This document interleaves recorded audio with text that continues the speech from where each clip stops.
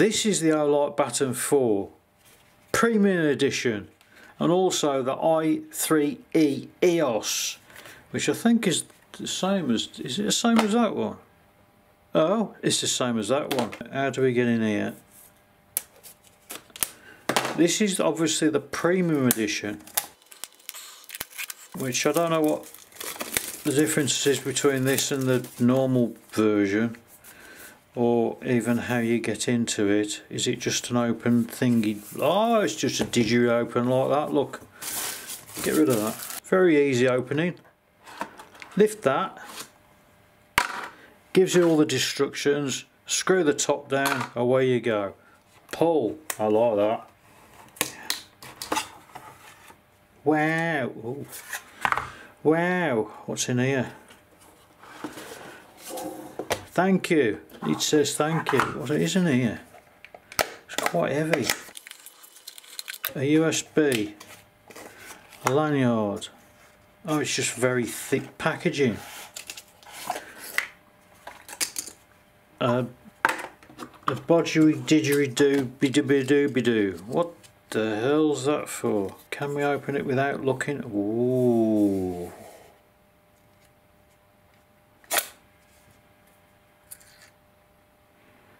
So that's the the sealer. Uh, charges Baton 4 5 times compatible with Baton 3 3SR 3 Penham Mini Penham Mini 2 Mini Mini and Penham and Penham. I had it the other day. Okay, well, no, yesterday. I had it yesterday. So where the bloody hell have I put it?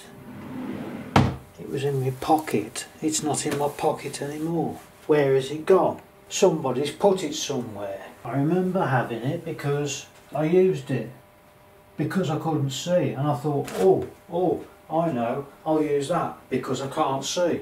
Well, now I can't bloody well find it. Uh, my hand hurts like a bitch. I, I don't know where it's gone. I don't know where it's gone.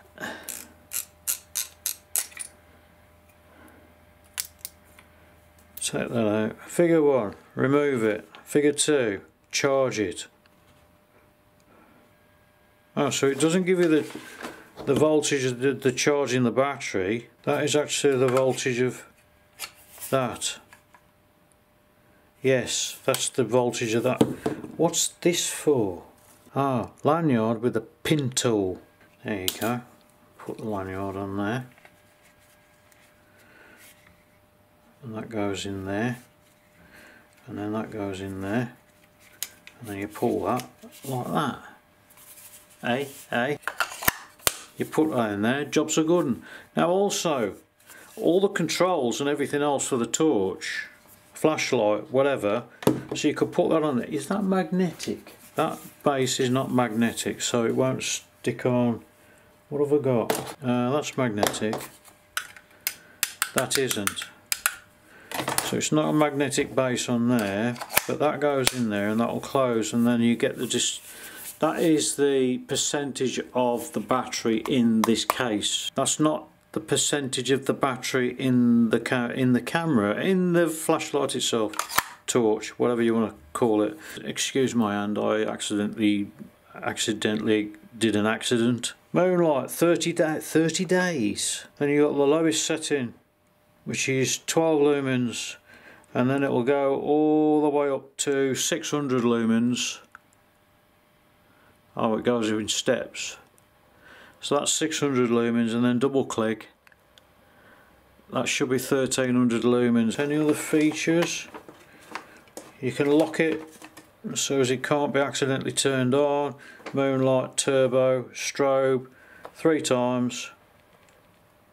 Three times is strobe adjust brightness hold it down. Auto shut off. Once is three minutes. Twice is nine minutes. So after nine minutes that'll go turn itself off. We've also got on here there's some LEDs can't really see but the one on the left is the brightness the one on the right is the battery level indicator. You can also use the functions with this button. So if I hold that on that goes onto moonlight and then I can turn it off again and I can turn it on and then I can hold that down and it'll go up to maximum. You've got your lanyard, you've got your tool for taking it, uh, putting the lanyard on and you've got a charge cable which is just a standard USB-C cable um, and then you've got the case obviously the box thing that it all comes in please read this document carefully before use. Yeah read that.